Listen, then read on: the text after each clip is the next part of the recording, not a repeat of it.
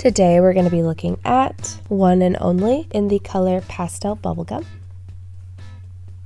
I have been sick, and you can probably hear it in my voice. I mean, I, I think I probably sound worse in my own head because of the congestion, but if I sound quiet or anything, it's because I cannot hear myself right now. So, first thing you may notice about my swatches is that they're labeled 1 through 12. I do just want to say that is not synonymous with hair levels. I do different video clips and pictures and whatnot throughout the video, so the numbers just help us keep track of each swatch. Also, my swatches are not virgin hair, so that means they've been chemically colored, treated or bleached at some point in their existences. So for my videos, what I like to do is I will take the color directly from the container and I will apply it to the top of each swatch. Some people do like to dilute their dyes, so I will do a diluted version at the bottom of each swatch. Please keep in mind everyone's hair is different, which means everyone's hair will take color differently, plus different screens and monitors can make colors look different, so please just use my video as a reference for how this could possibly maybe turn out for you.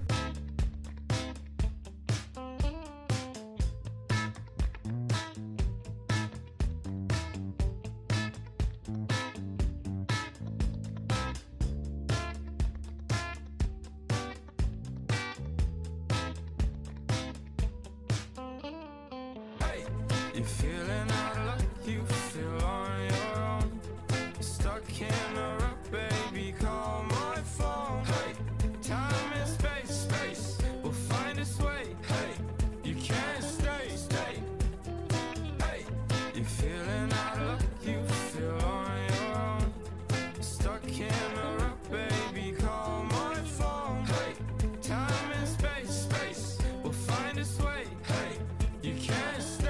For the diluted section, we're going to do a 4 to 1 ratio. So that's going to be one part of our dye to four parts of diluter. I do get questions on what diluter is, so I like to just kind of give a really quick answer. Um, it's essentially something that lightens the color of a semi-permanent dye. In my case, I do use a plain white conditioner as my diluter. Now some brands will make diluters that you can use in combination with the colors that you buy from the brand. I do find that when you use the brand diluters that they are a little bit more consistent and less patchy than using conditioner. But since I use so many different brands and whatnot, I think it's better to keep the consistency, which is why I am using conditioner.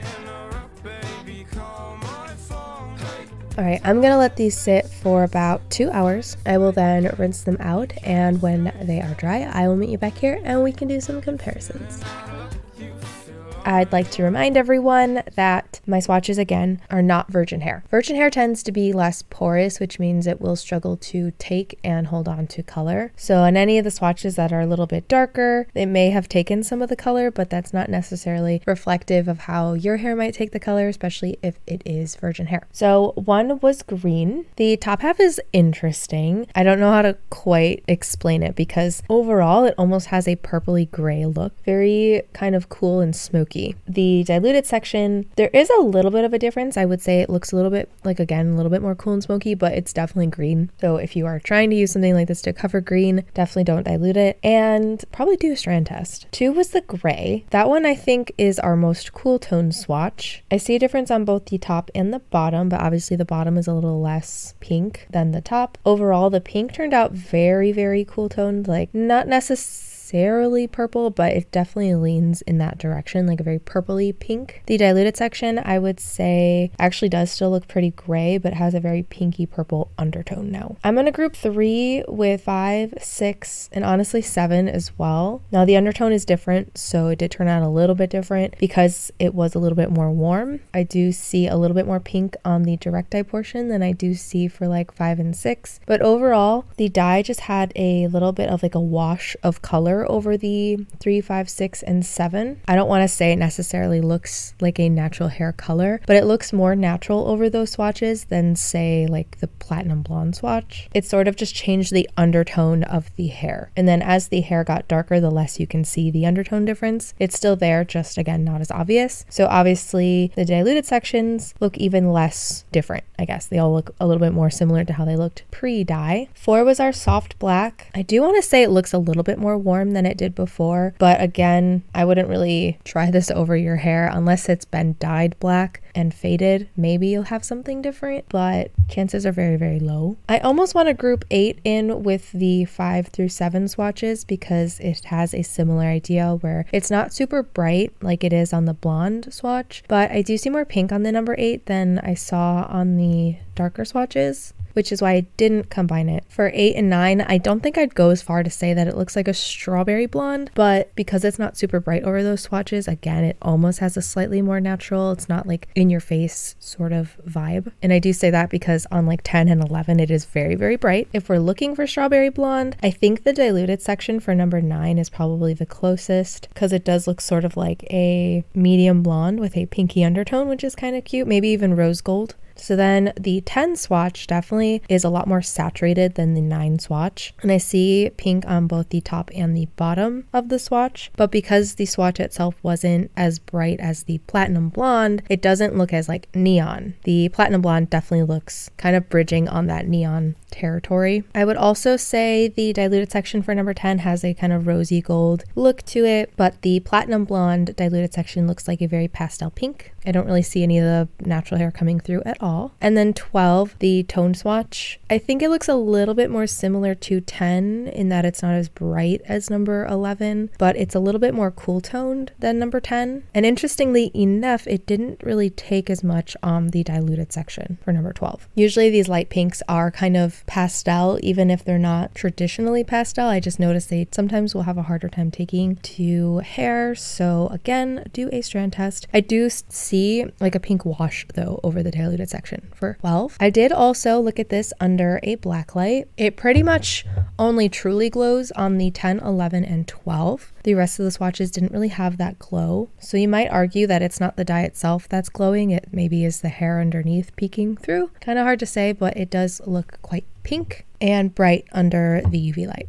So as for comparisons, I have two today. I decided to go with colors that also sort of bridge on that almost neon territory without actually being like a highlighter. The first one I wanted to look at today is Arctic Fox in the color Electric Paradise. This is comparable to number 12, 11, 10, and 9.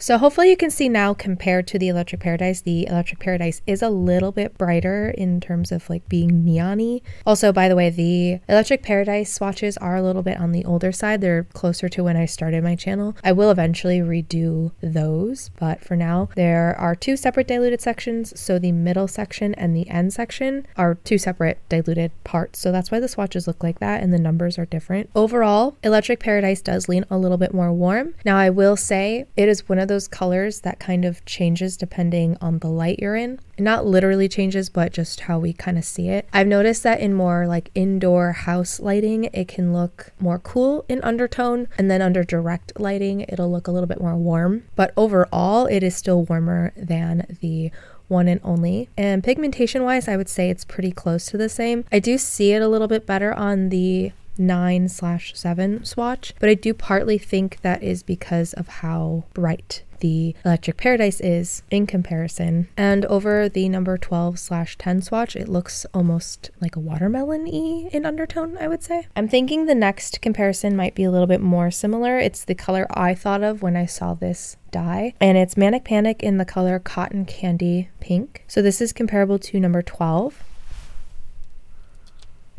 11,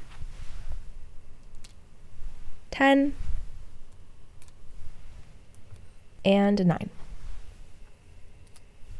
All right, interesting. So looks like the cotton candy pink is also a little bit more warm in undertone, but just by a little bit, because if you look at the number 12 swatches, the cotton candy pink actually looks a little bit more cool. So it could be the warmth in the swatches kind of pulling through, but on the majority of the swatches, it does look warmer. It's also a little bit brighter. So if you're looking for a cool toned bright pink that's not quite as neon, because Manic Panic has a basically neon pink that is cool tone and it's called Hot Hot Pink. That one's definitely way too bright for me to want to compare this.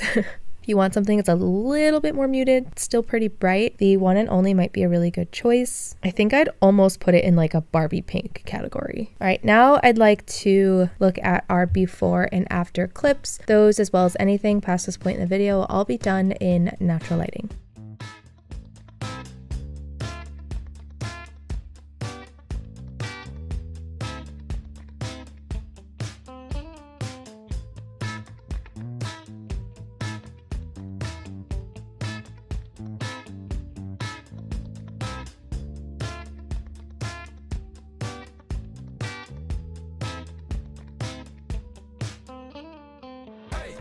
You're feeling